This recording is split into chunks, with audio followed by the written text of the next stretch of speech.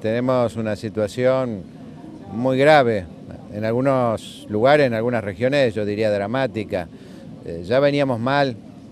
en, lo que va de este año porque teníamos eh, lluvias intensas en distintos lugares de la provincia, porque tenemos economías regionales que están en crisis ya desde hace tiempo, como es la lechería, por ejemplo, de enorme, de enorme impacto en una región importante de la provincia, eh, la economía del arroz, la caña de azúcar, el algodón, con dificultades,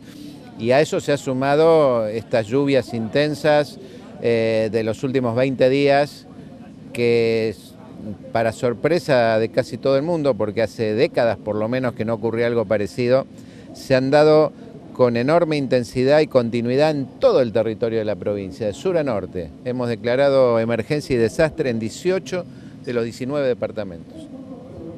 Tenemos 7 millones eh, más o menos de hectáreas productivas que es casi la mitad del total, eh, bajo agua, es decir, con, agua a flor de superficie, con, las, napas, con las napas arriba. Y bueno, y esto ha terminado afectando eh, no solamente a, las economías que ya venían golpeadas, sino a la zona núcleo, que era nuestra expectativa, nuestra esperanza, la cosecha de soja del centro sur. En el marco de esta importante jornada que se está desarrollando en el Into Oliveros, en este marco vino el ministro de Industria de la Nación, Ricardo Burjaile, y el gobernador Miguel Lifchi y anunciaron un paquete de medidas entre nación y provincia en el marco de la emergencia hídrica para el sector lácteo. Punto número uno, firmaron un convenio para una línea de financiamiento al sector lácteo vía el nuevo Banco de Santa Fe de 300 millones de pesos con una tasa del 19%, subsidiada en 5 puntos por nación y 5 puntos por la provincia, eh, montos que se van a otorgar hasta 600 mil pesos por tambero, con tres meses de gracia y 21 meses para devolución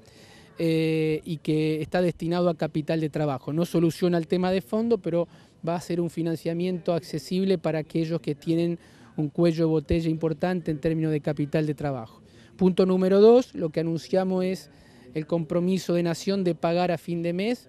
eh, la compensación de 50 centavos anunciada ya hace tiempo atrás eh, a cada productor tambero por los primeros 3.000 litros de leche, una compensación por litro de 50 centavos, con lo cual la provincia de Santa Fe participa con 10 centavos. En tercer lugar, eh, nosotros le habíamos acercado una propuesta a través del secretario de lechería de la provincia a la Nación de hacer un subsidio directo, 400 pesos por vaca, hasta 100 eh, vacas en ordeñe,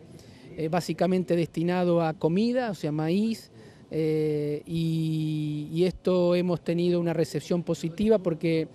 el ministro Burjaile nos dijo que nos va a dar 41 millones de pesos del Fondo Nacional de Emergencia para que destinemos a este proyecto que hemos acercado de asistencia de 400 pesos por vaca a los tamberos. Especialmente a los tamberos y a las industrias lácteas. Las industrias lácteas le hemos reprogramado en, un periodo de seis meses este, para que no tengan impacto directo sobre la producción actual y con el caso de los, que eso también es con financiamiento de la provincia, porque vamos a tener que darle a la EPE los costos financieros, y además también este, con el caso de los tamberos hemos hecho un plan de que las próximas tres boletas, o sea, un semestre sería, porque son bimestrales las boletas de los tamberos, las próximas tres boletas, o sea, la que está venciendo ahora, la de que febrero-marzo, abril-mayo la que viene y junio-julio es la otra, se pueden eh, diferir 12 cuotas sin interés, que eso hay que ir solamente con la boleta, una vez que la recibe el tambero, va a la, oficina de la EPE más cercana y ahí le hacen el plan para 12 meses, ¿no es cierto?, para que pueda pagarlo.